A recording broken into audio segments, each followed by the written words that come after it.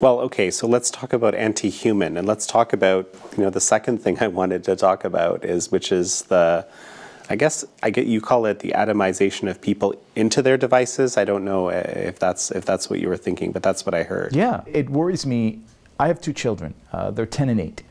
I struggle mightily, and, and I I fail uh, miserably at keeping them away from these maniacal devices uh, that are designed to steal away their attention. Um, they are designed to bombard their actual, having been a, a, student of, of the actual neurochemistry of what happens to your brain when you interact with so many digital stimuli. Our brain is not built to receive such a torrent of stimuli so fast so frequently. It literally changes the neural bypass, neurosynapses of our brain. Uh, and not in a good way, because it makes us addicted to these affirmations, to these attention, to these bleeps and bloops that the machine keeps producing. And younger people, particularly, are susceptible to it. Uh, not only is it changing their ability to interact with one another, it also makes the whole notion of human interaction radically different from what it always stood for. Because rather than being in the same room and, and being together and reading social cues and expressions, right now it's, it's come down to pressing likes, swiping right or left or up and down, hearing dings, putting emojis in.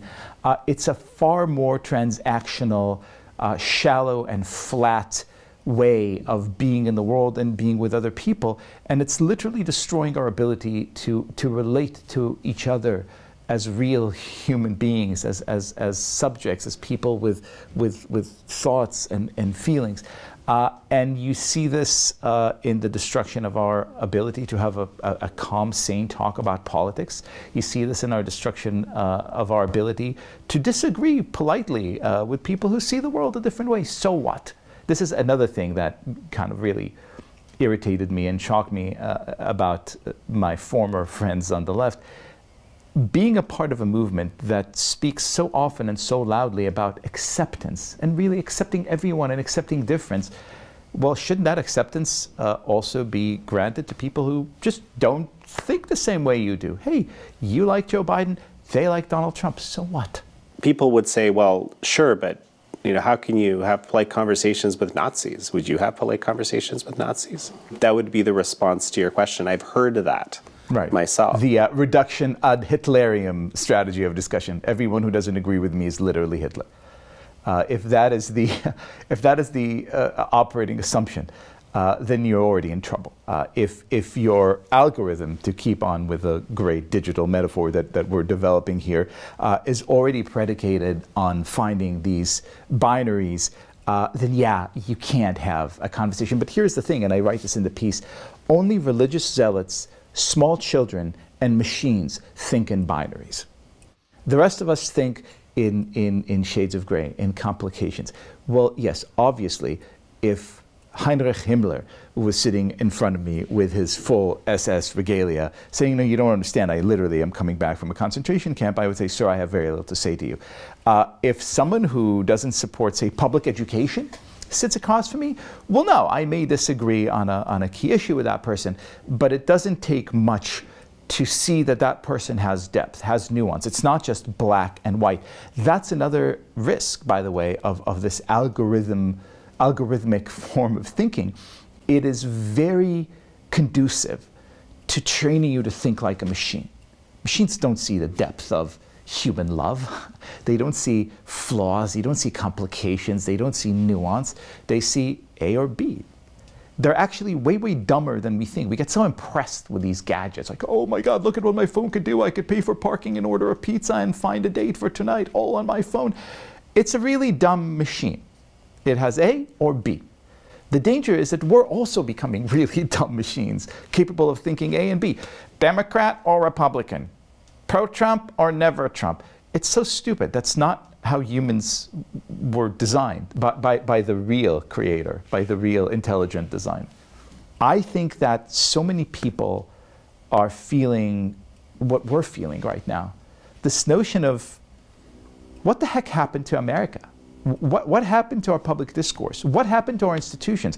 Why do I turn on TV right now and hear literal insane conspiracy theories repeated as if they're actual news, even after they're factually disproven. Why do I have to start going to all kinds of publications that I didn't even know about four, five, six years ago, and all of a sudden understand that they're actually incredible because they actually have respect for my intelligence and for observable reality. Why are there things I can and cannot say in public?